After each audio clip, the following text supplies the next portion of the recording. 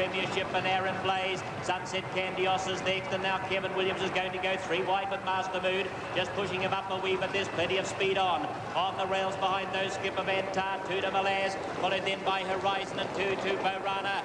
The judge they go now, and Prince of Princes trying to slow them off a little bit as they go for the line round 10 turn, and on round the bend they go. Prince of Princes the leader. Master Moody's trapped a little wide round that bend. In the centre, Premiership and along the rail, Trident getting a perfect sit-in behind the leader.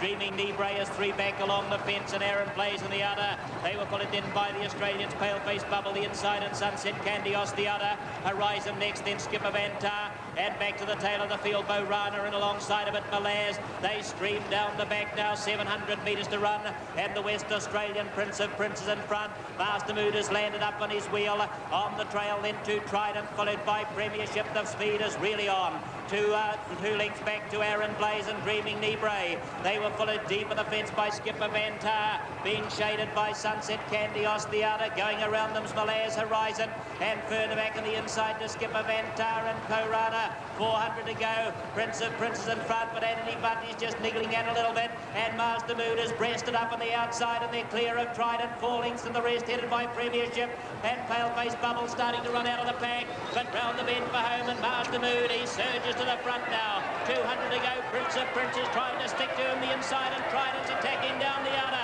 Master Mood is getting a reminder to keep him up to his work, but he's a great stayer, and down to the post he comes.